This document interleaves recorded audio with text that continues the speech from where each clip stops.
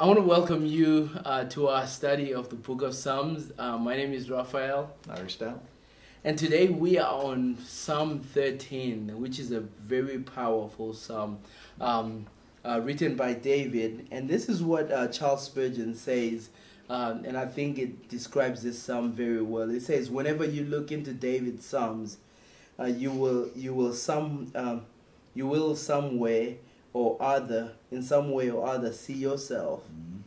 You will never get into a corner, um, but you will you you never get into a corner, but you will find uh, David in that corner. Mm-hmm. I think that I was never so low that I could not find David was lower. Mm-hmm. And I never climbed so high that I could not find David up above me.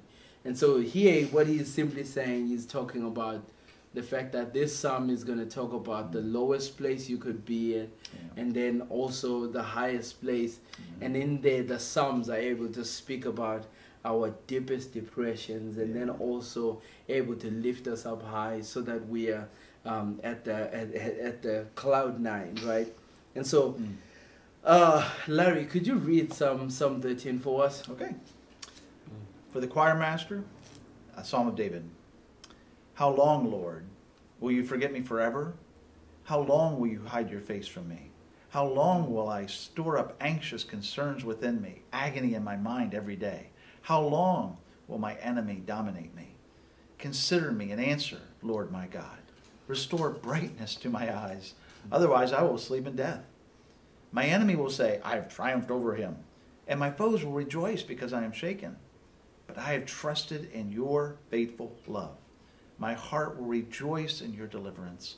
I will sing to the Lord because he has treated me generously. Wow. Yeah. That's good. good. stuff, yeah. So, so this um, uh, Psalm 13, um, this is what uh, Joseph, uh, Joseph Parker said. He said the Psalm begins uh, with winter and ends with summer, right? Mm-hmm. Uh, it begins with low muffled tones um, of of just like of sorrow, but it ends with um, with the rapture of praise. Mm-hmm. Mm-hmm. Um, and and and I love also what Matthew Henry says. He says, uh, "What do we do in days of trouble? Days of trouble must become days of prayer. They must become days of prayer." So we see this like here. Um, and let me run through just an outline of what uh, what this book, what what this one looks like. Um, you see in verse 1 to 2, uh, just complaint in the midst of, uh, of crisis, um, where he says, How long? And by the way, when you look at that, how long, um, it's meant to be. It, it's it's it gets more and more intense. Mm-hmm. The pain gets more and more intense as he cries out, "How long?" So he says, "How long, God, will you forget? How long will you will you mm-hmm. hide from me? How long must I um, uh, must I be discouraged mm-hmm. and how long must I be defeated? Yeah. Um, and then after that, you see from verse 3 to 4, you see this request for uh, deliverance uh, from this crisis. And he says, Remember me, O God. Uh, remember me and then rescue me, God. Um, and then it ends with this ongoing faith in the midst of crisis, um, where he says, I will rely on God and then I will rejoice in God. Larry, what are some of the thoughts that at least come out from, from this song? Well, the most uh, quick observation we don't uh, compare notes before we do these. Yeah. I had the Matthew Henry quote, I had the Charles Spurgeon quote, I also had the Joseph Parker quote. So uh, you, you, stole all my quotes.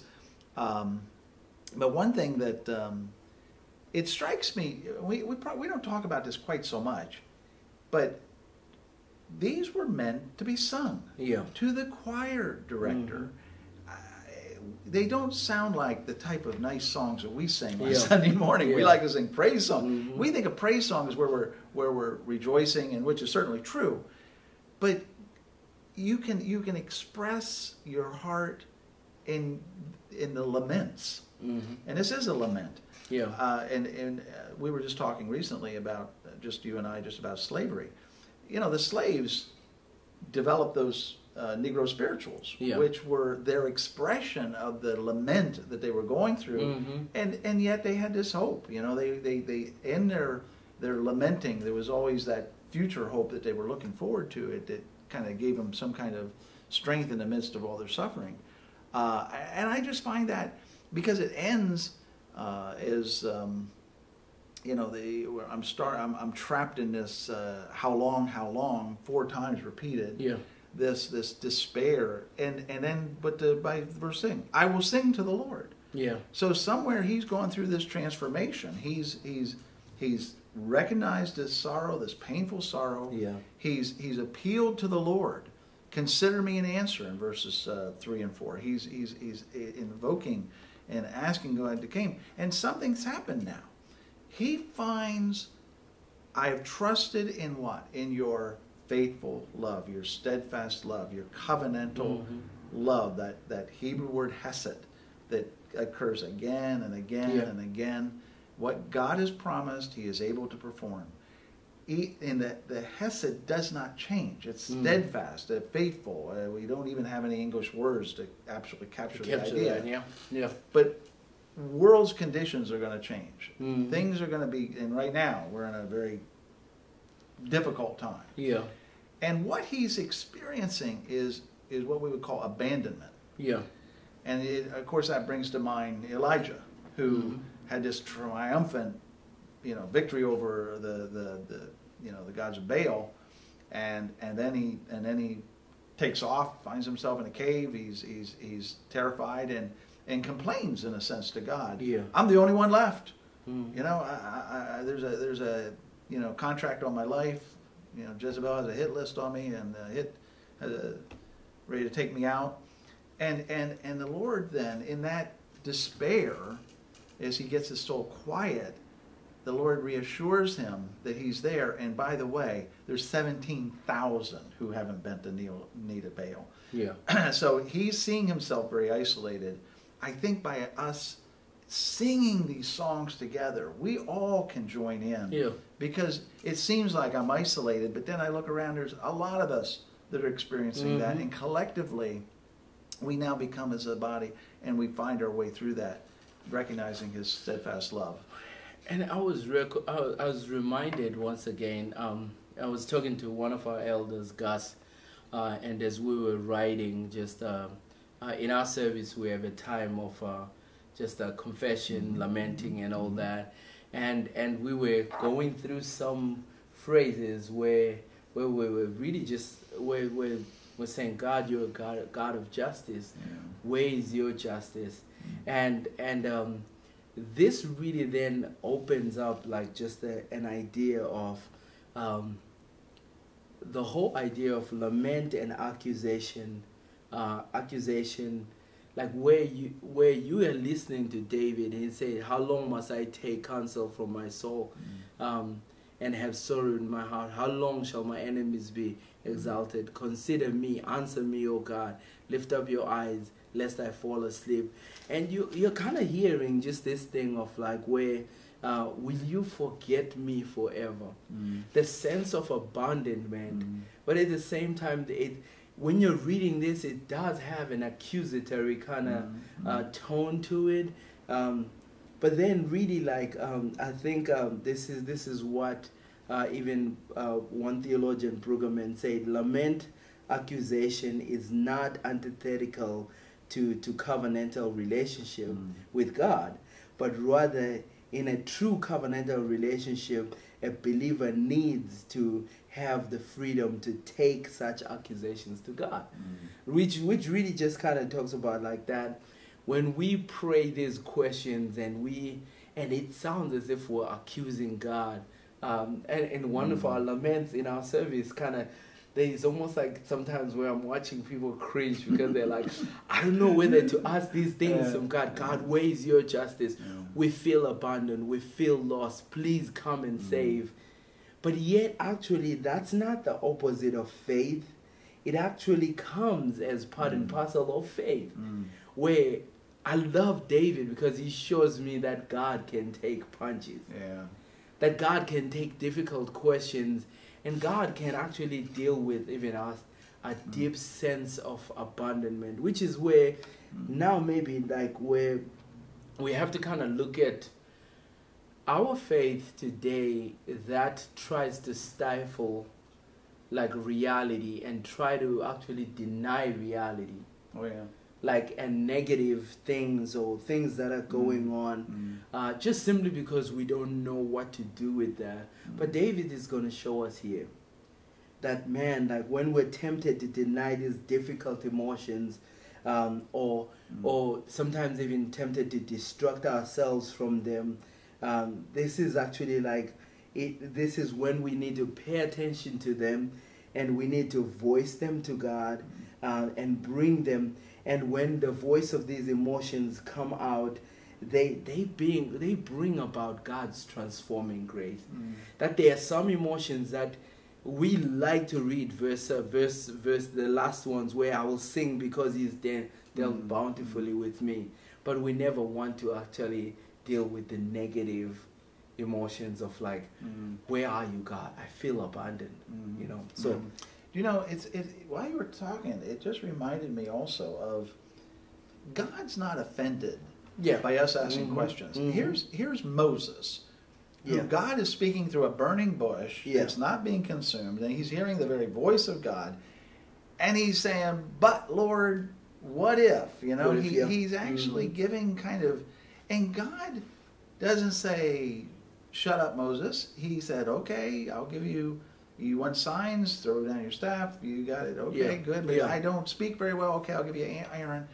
God was meeting Moses where he was at. He was, didn't yeah. want to leave him where he was at, as you like to Mhm. say. But here's the thing: when Moses said, "Lord, send somebody else," when Moses began to rebel yeah against what God had said, it's one thing to question, "Lord, I don't understand." Mhm. God's open to that. I think even Job was like, I don't get it, Lord. I am, I'm, I'm, I'm being honest here. I'm, I'm, I'm, I'm asking. But when you then cross a line yeah and say, no, Lord, you're not in this, I don't reckon. And now, I love the King James says it, I think, better sometimes. And the Lord's anger was kindled against my. Yeah. You know, when God's anger gets kindled, you better, you realize he's starting a fire, you better be ready. But I think that's something that we sometimes are, we feel guilty for expressing those things. Mhm. And that's why the Psalms is our language. It Yeah. gives us the language of lament Mhm. because he really is not sinning and bringing these things before Yeah. God. He's Yeah. actually expressing true thoughts, true emotions, and the Lord is is hearing them because he's answering him through his word. He's, he's Yeah. i- i- reminding him of those promises that is as that um, that David has. So it's a it's it's out of lament comes encouragement Yeah. if you do it properly. I guess Properly, if you yeah. say it that Yeah. way, or or in a and and line. this now then really begins to show us um, show us that there is room one of the human experiences we're going to feel is just this sense of abandonment Mhm. and when we do feel this sense of abandonment um, our when we feel those sense of abandonment or when we feel so lonely and by ourselves and we feel um, you know obviously there's going to be promises from other things. Like for example uh, just this is where drugs come in. This is where we run to any other identities. But we see david here um, having a way of actually saying i have a complaint there's a crisis around me um, and he's really just saying um, I, I you know lest my enemy says they prevailed over me lest they rejoice and because i'm shaken he says but this is what i do. What our call is is to run and hold on to this covenantal love what that you were talking about. Mm. this love that never that never moves. And this covenant it's a loyal love from god if anything this is running back to his character Mm. my heart shall rejoice in your salvation his salvation doesn't come from and and it, it, it it's actually pretty interesting because he is he is having this ongoing steadfast faith in the midst of the crisis Yeah. yeah. um, and so this kind of takes us back into the tradition of why I love scripture, especially even in this time. Uh, one of the things that like as I've been looking at uh, the context where we're in and looking at injustice, looking at people dying, painful deaths, and all that, I've been I found myself sighing and saying, "How long, oh Lord? How long?" When I'm seeing hatred, when I'm seeing racism, when I'm seeing uh, and this is it expands a little bit more when I'm saying tribalism. When I'm saying when I consider the things that I've gone through in life, things that I've seen. I've seen disease tear down my loved ones, mm. and one after another. I've seen death claim, and then you know I've seen disease, and I've seen scares of, and mm. all those things. Whether it's racism, tribalism, whether it's suffering, whether it's I've found myself able to say, God, how long? How long, God? And the truth of the matter is that, mm. like, I am getting shaken, but you know one thing that I have? Like, this is what the psalmist would say in Psalm 73 Whom have I in heaven but you? Yeah. So I'm not going to run. I'm not going to let my feet slip and run to other refuges, uh, like a refuge. Uh, and, and I'm just going to stay here and I'm Yeah. going to say that, God, you, you have this covenantal love for me and you never fail. That's hinted know? at in verse Mm. 3. Mhm. Because everything you just described, we Mm. could summarize under the word darkness. Yeah. All of those, uh, the That's oppression, Yeah. disease, sin, it's all dark. Yeah. I'm living in a dark world, Mhm. and God, it's just dark. And now, answer me, Lord my God, restore brightness to my Yeah, eyes. yeah. I want to Mhm. see the light, Mhm. oh Lord. And and now that light is not going to be that the darkness Mm. is the darkness is still there, but now I'm seeing He who is Yeah. the light. Mhm. Now I, that that's now I'm able to behold, and it's and really it's it's a word for revival. Yeah. That my soul is being revived. I'm now understanding and receiving that that He is there in the midst of this darkness. Yeah. He's not showing himself, and and I, again, what do we? The dark night of the soul, you Mhm. know, is an expression we use Yeah. sometimes when we when you get down and and what the Lord pray, Lord, bring brightness to my eyes, bring And- re, revive me. And the dark night of the soul is something very useful for our faith. Mm-hmm. because it He then it. it. really then it it tests us to help us to see whether this is truly who I trust. Yes, And exactly. so it, it's one of those things where I I'm at this place where I, I realize every single believer is gonna experience the dark night of the soul. I- yeah. And um, I'm reading a book, uh, a, a book uh, on. Uh, it's called "Wait with Me: Meeting God in Loneliness." Mhm. Um, and uh, and then this is what it uses. It says this: What if loneliness was a doorway? Mm. What if this sense of abandonment, abandonment was a doorway to a deeper life with God? What if you know uh, a deeper life, a deeper friendship with God? And so, um, and and in there, uh, this author, um, this author, kind of spent some time, and he says, this is not the first time that's ever been. When we look at even just the greatest of the great, Mm. they all experience this dark night of the soul. So Abraham, Abraham uh, experienced loneliness in his desire for family, and then and and and he say ends up saying, "Oh, Ish, oh that Ishmael might live forever in your sight." Mm. Moses experiences loneliness when he fly when he runs away from Egypt. Um, Jacob experienced loneliness in the face of his own ambition, right? And then you see him even ending up running away from his brother. Um, and then at the same time, he he experiences when his sons, his his last two sons, are actually facing persecution, right? Um, Elijah faces what you were talking about. Elijah faces fatigue after the great victory. Nehemiah faces loneliness in leadership as he dealt with opposition from outside and sabotage from in within. Job experiences loneliness and suffering while his friends Yeah. offered little comfort. He Mhm. even says, You're miserable comforters, right? Yeah. Esther experiences. If you're my friends, I didn't Yep. see my enemies, right? Yep. Esther experiences loneliness Yeah. even in the palace. Wow. Yeah. In the palace, where she says, But as for me, I've not even been called to come into the Mm. presence of the king for 30 days. I don't know if what, what he's going to do. Is he going to depose of me or Mm. whatever? And then Mary chose loneliness in her embrace of God's call. uh, she knew she was gonna get uh, despised because she became pregnant. But and then Paul uh, experiences loneliness in mission uh, more than uh, enough times because he's you, you can hear him saying, "I long to see you.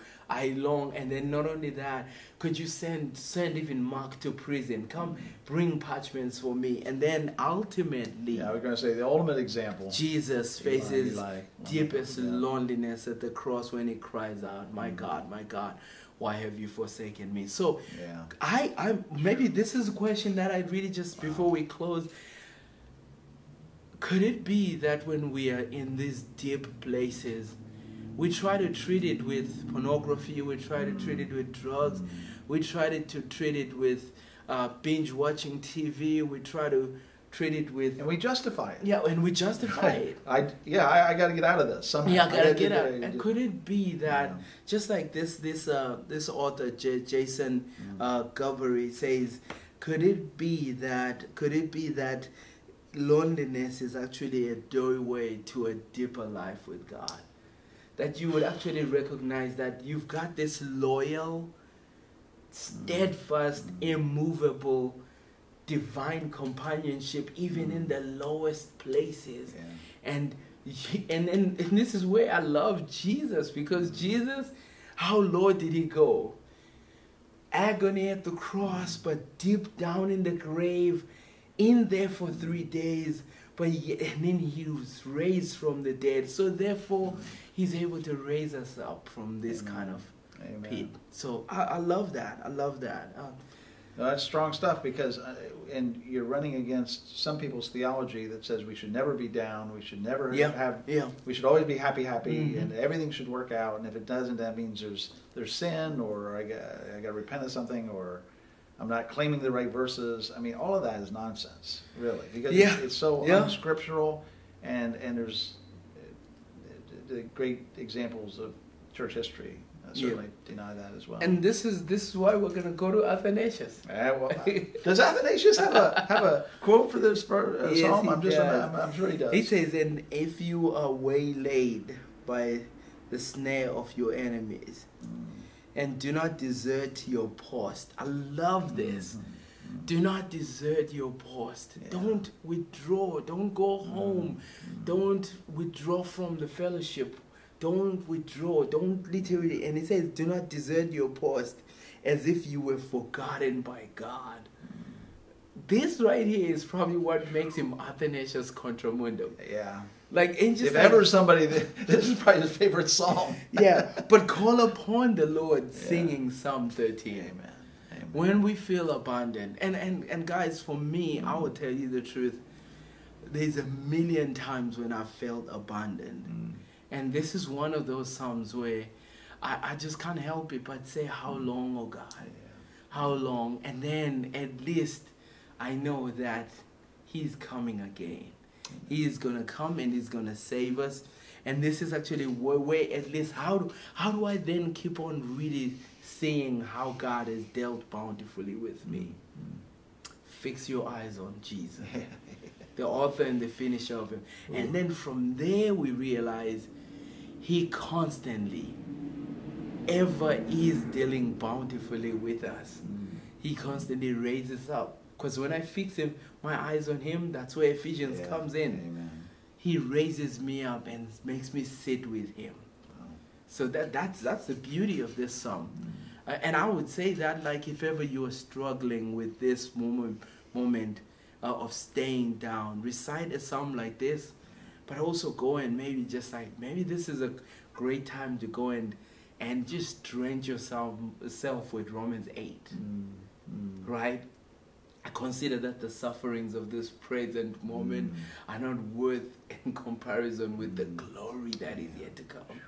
Like for me, that's actually the like just eat this up, you know. Uh, Larry, do you have anything else? to No, say? I you you taken everything. You stole my quotes and, and you stole my best thoughts. But uh, Which one was your favorite ones out out of that? You know, I, I, I, I, really did like Spurgeon because Yeah. he, he ca- caught the idea that David when we get there, we find that David was already there. Yeah, I mean, yeah. and that's that's a great thing. Even what we talked about uh, last week about the Scripture, refinement yeah. of the Yeah. scriptures, Yeah. uh, the, the like gold. As we as we come, wow, that was written just for me. In fact, I remember as a young Christian, I felt like there were verses in the Bible that were specifically put in the Bible Larry because yeah. they spoke to me Yeah, so yeah. directly. I thought, Uh-huh. wow, Yeah. and that's that's uh, God's word is great. That's Yes. why we're doing this. So. And my prayer is that God would be able to revive you and revive us through His Word. And in times of suffering, let me remind you once again that God is not removed, but He is intimately bound up with you in suffering.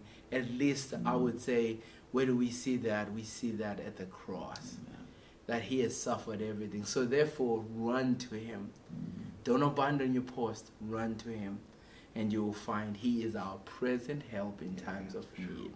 Um, so, Larry, do you want to pray? Uh, Again, Yeah. Heavenly Father, we again thank you for the beauty, the wonder, the magnitude of your word that Mhm. speaks so powerfully, Lord, even now in this day that we live in, that was written thousands of years ago. It's almost like, Lord, you knew we were going to be experiencing what we're experiencing because your word speaks so directly to it. So we pray, Lord, we pray you would revive us, Lord. You'd bring that brightness to our eyes as we're walking through really uh, times of darkness in so many ways. But we can fix our eyes on you, Lord. We can see Mm. Jesus and know that, that the worst things that we've experienced pale in comparison to what Christ Mm. himself went through for us. mm, And, and so we just thank you. Uh, our- our- we just have no words to thank you so much, Lord, for all that you've accomplished, all you've done. And we ask the blessing now upon, as we continue to look in your word, to continue to receive life from it, mm. and continue to walk as you have told us to walk. In Jesus' name we pray. Amen. Amen. Well, thank you so much for joining us. I pray that God blesses you through this week. See you next week.